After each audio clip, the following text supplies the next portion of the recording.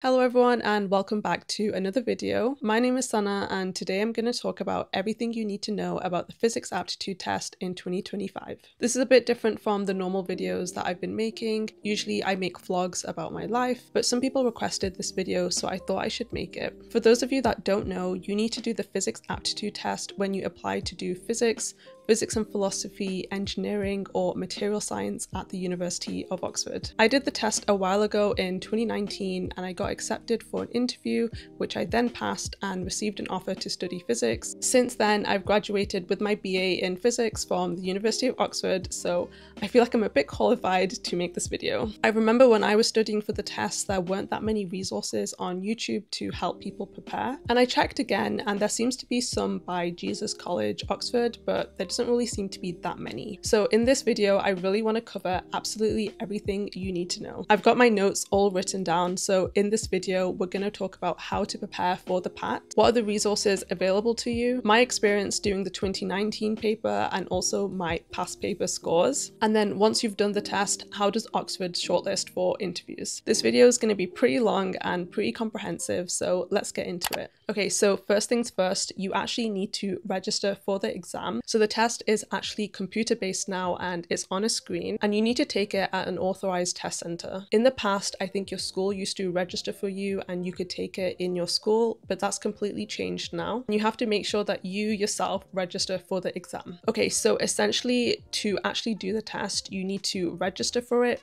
book it, and then turn up to the actual exam. So from June, July, August, September, I think it opens so you can start registering for the exam and you need to fill in some basic information to register for the exam. Once you've registered, I think in around August, September, you actually book your exam. The test usually takes place around the end of October and make sure when you've booked the test, you have your confirmation email. If you didn't get the confirmation email, make sure you go back and double check you actually booked the right thing. The Oxford website has a very detailed 10 minute video on how to register and book, and they have a step by step guide, so make sure to check that out. Okay, so let's go into how to actually prepare for the physics aptitude test. The first thing I would recommend is copying the syllabus from the Oxford website and using it as a checklist. Most of the stuff on the list will be stuff that you've done in AS maths and physics, but there'll probably be some things that you haven't covered before. It's up to you to make sure that you've done all of the topics, and if you haven't done any, then you need to make sure that you learn those topics. For the topics that you haven't yet covered in class, what I would recommend is talking to your teacher school and asking advice on how to learn those topics. Depending on how supportive your school is or how much time your teacher has, they might help you study for those topics. But if not, then it's up to you to read through the textbook and make sure you know the content. Personally, I hadn't covered some of the physics topics yet, and I had to personally learn it through the textbook. If you're only doing A level maths, then there'll definitely be some parts on the maths syllabus that you haven't yet covered. And I think the integration and differentiation are the key topics to practice. Usually people that are doing A-level maths and further maths would have done more integration and differentiation practice, so usually they would be better at those topics. Because calculus is such a key topic, I would definitely recommend focusing and making sure you're set on these topics. Okay, so once you have your syllabus, how do you actually revise? Honestly, when you're doing the PAT, I would say the best place to be in is to know all of your A-level knowledge back to front. Just do your normal revision, make sure you know all of your equations, all of your derivations, and you just know everything so solidly. Once you have all of the basics grounded and set in place, the next step is to really start applying that knowledge. Usually when you do the PAT, you'll realize that it's not normal questions and you have to apply your knowledge and think a bit out of the box more. Because of this, you need to get used to the style of questions, so I would recommend doing past papers. All of the past papers for the PAT are on the Oxford website and you can access all of them freely. Doing these past papers will help you get used to the style of questions on the exam and also help you get used to the timed conditions. One thing to note is that you actually don't get a formula sheet when doing the PAT, which is quite different from your A levels, so definitely make sure that you remember all of the equations, and if not remembering the equations, make sure you know all all of the derivations that you can do in the exam. One thing to note is that I think they've actually stopped releasing past papers for the recent exams because they've changed to an online format, but I definitely recommend doing all of the past papers.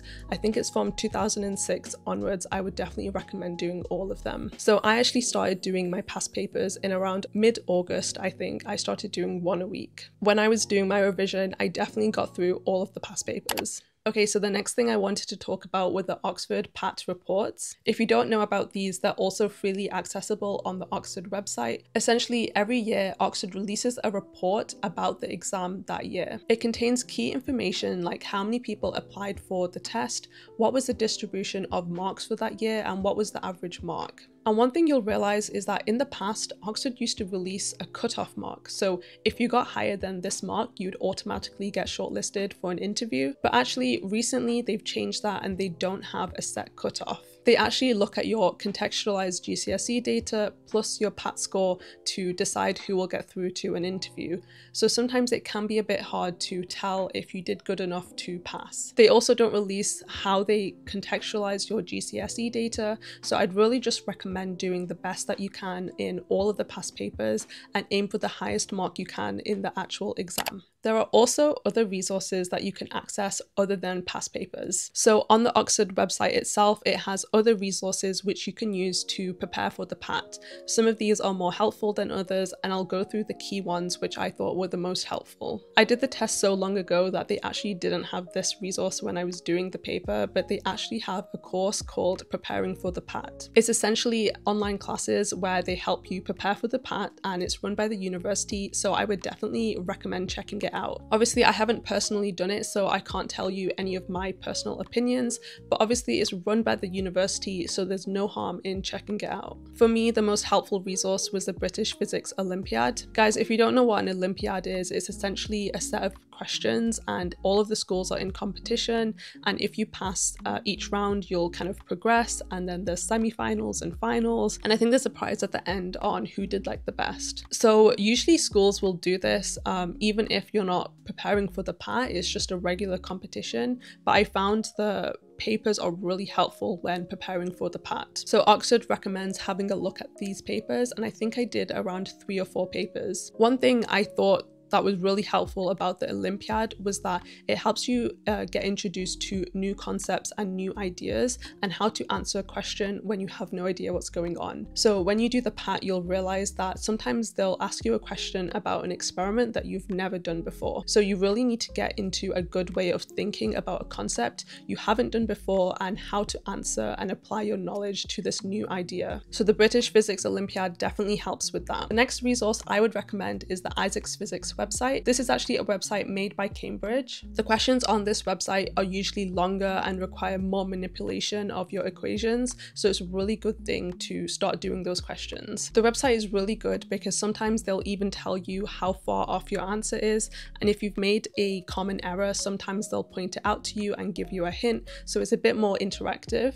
Usually with these questions, if I got stuck on some, I would actually go and ask my physics teacher for help, but yeah, I would definitely recommend checking this one out. So the next resource that Oxford lists on their website is Next Time Physics. These questions are more abstract, and to be honest, I don't think they were super, super helpful for the PAT, but it helps you get used to new ideas and new concepts. And this is also really helpful for interview questions, so if you have some time outside of your usual PAT practice, I would definitely recommend checking out this website website. Okay, so I'm going to talk about my actual revision plan that I did when I was studying for the PAT. Okay, so when I did the PAT, as I mentioned before, I started revising in mid-August and I did around one paper a week. Actually, it used to be my routine where I would come home from school every Friday night and do a paper and mark it. And because I'm a nerd, I actually enjoyed this part of the week. So Oxford doesn't actually release solutions online, so I used a different website to look at the solutions. And actually, once school started in September, I used to ask my physics teacher for help on any of the questions that I got stuck on. Obviously, it depends on how busy your teachers are and how supportive your school is, but luckily for me, my teacher used to help me out. And alongside these past papers, I was also doing Isaac physics and Olympiad questions throughout the week. So one thing I did, which actually wasn't listed listed on the Oxford website, but I actually did the Cambridge entrance exam for natural sciences as practice. I think it was called the NSAA, which doesn't exist anymore, and I think they have the ESAT instead. But I used to do the physics and maths questions on this paper for practice. And obviously the format and everything was completely different, but obviously you're still applying the same equations and the same logic. So I used to use this as practice. I think I ended up doing around two to three papers of this. So if you have time, I would definitely go and check it out. Okay, so next I'm actually going to talk about my past paper scores. Honestly, when I was revising for the PAT, I was the only person revising, so I had no idea what kind of scores anyone else was getting. So I'm going to go through and talk about all of the scores that I was getting in my past papers just to help you guys out with your anxiety. Obviously, I did my actual exam in 2019, so that's the last score that I have. I'll talk about all of the historic scores. I've got all of these scores written down, by the way, so I'm just going to go through and read them all out. So in 2006, I got 44, and I think the cutoff was actually 45, so I did not pass. In 2007, I got 52, and the cutoff was 47 so I did pass. In 2008, I got 63 and the cutoff was 52, so that's actually pretty good. I got 10 marks above the cutoff. In 2009, I think I actually lost the paper but the cutoff was 47. I don't know what I got. In 2010, I got 74 and the cutoff was 71. So if you look at the cutoffs for 2010 and 2009, you'll realize there's a 24 mark difference. So the main aim when you do the PAT is just to do as best as you possibly can because you never know what everyone else will be getting. This kind of makes it a bit more stressful, to be honest. Okay, so in 2011, I actually did this paper twice because I did so badly on it. The first time I got around 31, and the second time I got 44 and the cutoff was 50. So I did not reach the cutoff both times, which is kind of embarrassing to be honest. I'm just glad those topics went on the 2019 paper because I don't know how I would have done. So in 2012, I got 46 and the cutoff was 51. In 2013, I got 58 and the cutoff was 68. In 2014, I got 41 and the cutoff was 55. In 2015, I got 68 and the cutoff was 65. In 2016, I got 60 and the cutoff was 60. In 2017, my score was 44 and the cutoff was 59. In 2018, I got 53 and the cutoff was 62. And then in 2019, they got rid of the cutoff and changed how they shortlisted for interviews and used that contextualized data instead. Okay, so now I want to talk about my actual experience sitting the paper in 2019. So I actually did the paper um, when it was like a real actual paper. So obviously it was a long time ago, but genuinely I remember it as if it was yesterday. I walked into the exam hall feeling pretty confident because I'd put in a lot of work and I genuinely felt like I was was so good at physics at that point. I felt like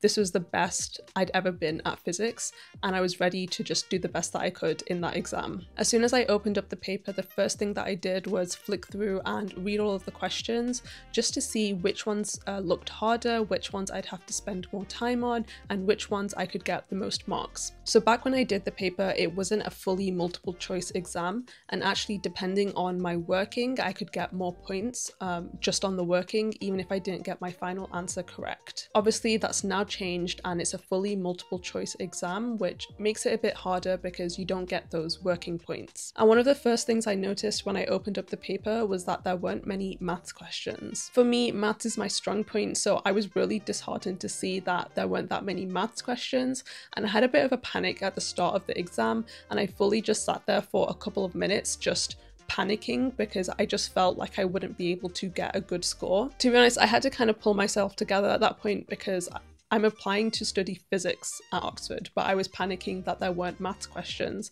So I had to just remind myself that I was also good at physics. But yeah, I, I honestly wasted like a few minutes at the start just sitting there panicking. But then the rest of the exam, I just tried to put as much down as I could for each question. And to be honest, it wasn't as bad as I thought. However, I think there were two questions I actually struggled to put anything down, but obviously doing those Olympiad questions really helped because I managed to put some equations down and some working even though I had no idea what was going on. So I walked out of that exam feeling pretty okay even though I had that panic at the beginning, I managed to like pull myself together. So one thing I haven't mentioned previously in this video, but actually two weeks before I did the exam, my teacher gave me a really old physics textbook. She basically just gave it to me to have a look at and read through just out of interest. It's really old and the topics don't come up on the A level anymore, and some of the experiments aren't even on the Olympiad, Isaac Physics, or anything like that. However, at that point, I'd pretty much finished a lot of my other revisions, so my teacher just gave it to me to uh, have a read and see what I could get out of it. So, one of the topics on this uh, textbook was the air cell refractometer. The air cell refractometer basically you shine a light on this kind of box and depending on the angle of incidence you can work out the refractive index of the material. And to be honest when I was reading it the night before my paper it seemed like pretty much irrelevant information and it was such a random physics experiment. Guess what came up on my exam the next day? One of the questions that came up was on the air cell refractometer.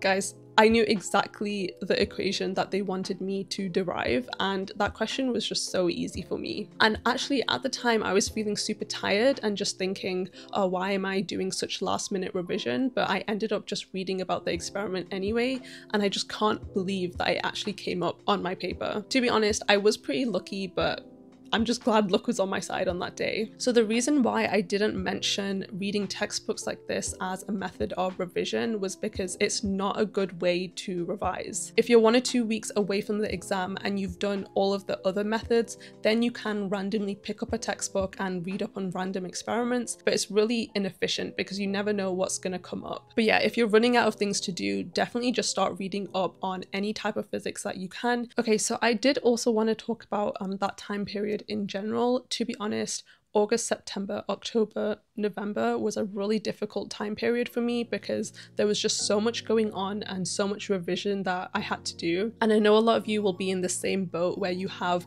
like your UCAS application, your personal statement, you have to, you know, revise for your A levels, revise for the exam, also prepare for interviews. So this time period is really hard to be honest. And I would definitely just recommend when you're taking a break, make sure you actually take a break and take your mind off things um, because it can get really tough if you're constantly thinking about this all the time. Okay, so the final thing I'm going to talk about is how they shortlist after the PAT for interviews. So essentially, the PAT is used to narrow down the number of candidates. So I had a look at the report for 2024, and the number of applicants per place was around 9.4 applicants before the PAT, and after the test, they narrowed it down to roughly 2.8 applicants per place, including some um, mitigating circumstances people. So this means that they roughly quartered the number of candidates just from the PAT. So as I mentioned before, there isn't a set cutoff point um, for the PAT on who will get an interview. They actually have a look at your contextualized GCSE data plus your PAT score, and then they'll give people interviews based on that. So in terms of rough numbers, maybe they'll give 300 people an interview based on their GCSE score and PAT score, and then they might add in maybe an extra 80 people um, based on mitigating circumstances and other contextualized factors. So really at this point, you can't change your GCSE score, so you really have to make sure you do the best that you can on the PAT. I'm going to end the video on a list of final advice. Use a syllabus as your foundation, revise your AS content thoroughly, and if you haven't done further maths A level, make sure you practice your calculus skills, do every past paper you can under timed conditions, supplement your revision with Isaac Physics and Olympiad questions, plus try and sign up for the Oxford Uni course, and most importantly, stay calm and adaptable. So that's the end of the video. I hope you guys found it helpful and if you have any more questions, let me know in the comments and I do my best to answer them. And if you're interested to watch my vlogs while I was at uni, be sure to check out those as well. I'll end the video here, so thanks everyone for watching, make sure to like and subscribe, and I'll see you in the next video.